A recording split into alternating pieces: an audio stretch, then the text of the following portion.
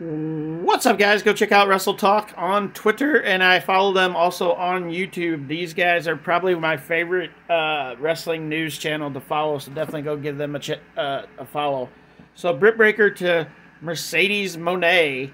If I say her last name wrong, people get pissed. On AEW Dynamite, we all know the second things don't go your way, you take your ball and you go home. Yes, Mercedes Moon sucks. I am not a fan.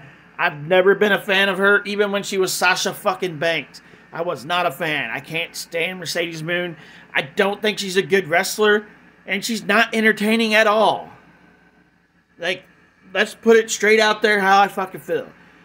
I am a okay fan of Britt Baker, but the more she destroys Mercedes Moné, the more I am becoming a Britt Baker fan.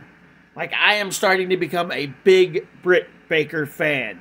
Yes, every time Mercedes Moné doesn't get her way, she freaking runs like a crying little brat. It's freaking. And then people are like, let's get her back in the WWE where she can be a superstar. No, she sucked then too. Like she's she's boring. She's boring. At least Britt Baker freaking makes things entertaining. Holy shit. Like, comment, and share. We'll see you out in the next video. Go check out Wrestle Talk on Twitter and YouTube. Bye, guys.